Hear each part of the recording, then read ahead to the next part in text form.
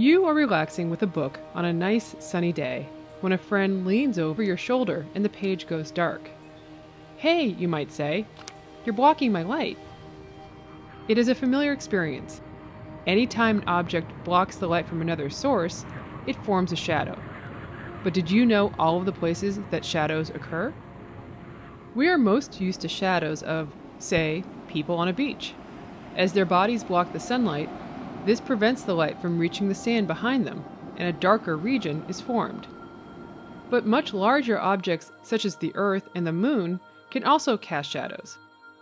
During what astronomers call a lunar eclipse, the alignment of the Earth, Moon, and Sun can result in the Earth briefly blocking most sunlight getting to the Moon.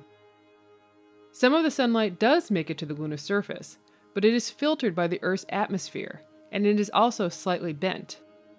This causes the sunlight reflected from the moon during a lunar eclipse to often appear red. The exact color of the shadow across the moon during a lunar eclipse can depend on the amount of dust and clouds in our atmosphere. A different type of eclipse can also produce a spectacular shadow.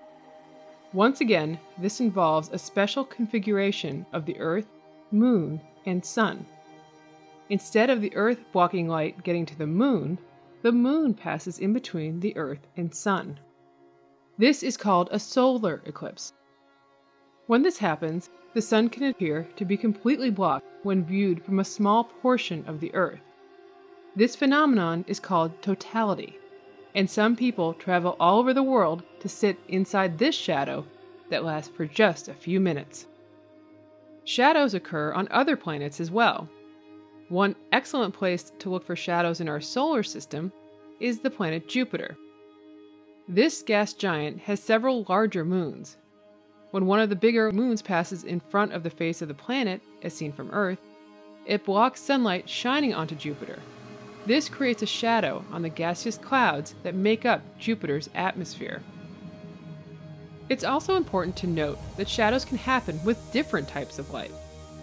Astronomers call what humans can see with their eyes visible light. However, there are also many other types of light, ranging from radio waves up to more energetic X rays and gamma rays. And the nature of a shadow depends both on the object and the light that it is blocking. For example, our shadow looks different in visible light as compared to X-ray light. Bone is denser than muscle tissue and skin, so it stops more of the X-rays. Fewer X-rays make it to the region of the film that's behind the bone, creating an X-ray shadow image.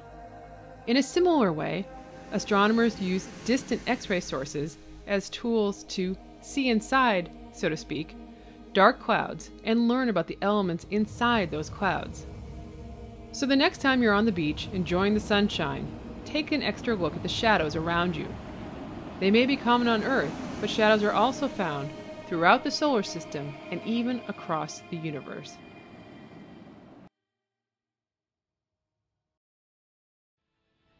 What happens here happens there happens everywhere.